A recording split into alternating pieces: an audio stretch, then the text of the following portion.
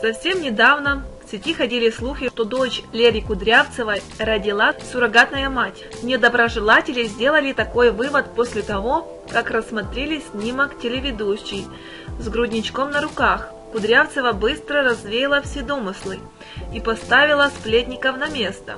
Однако теперь ведущая выкладывает фото, на которых дочь не видно. В инстаграм Кудрявцевой до сих пор появляются свежие снимки малышки.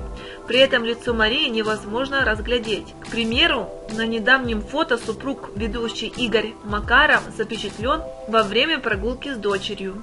Поклонники отметили, что Макаров выглядит очень счастливым. Стоит отметить, что на снимках Мария находится в коляске. Тем не менее, это не мешает преданным фанатам восхищаться счастьем молодой семье.